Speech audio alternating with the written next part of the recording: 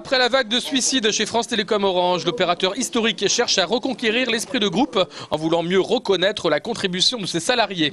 Aujourd'hui, le premier recruteur de Midi-Pyrénées accueillait les 152 nouveaux embauchés de 2010.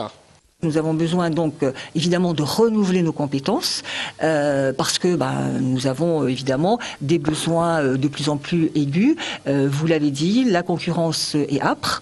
nous avons aussi comme projet majeur d'être présents sur le très haut débit avec le déploiement de la fibre qui fait appel à des nouvelles compétences complémentaires à celles que nous avons et c'est la notre capacité à, à faire évidemment coexister ces jeunes recruter avec nos salariés qui ont également leur expertise, leurs compétences euh, tout à fait majeures. Le groupe qui compte 4660 salariés en Midi-Pyrénées veut être plus que jamais à l'écoute de ses employés en faisant évoluer les parcours professionnels en fonction des envies des salariés et non plus uniquement des besoins de l'entreprise.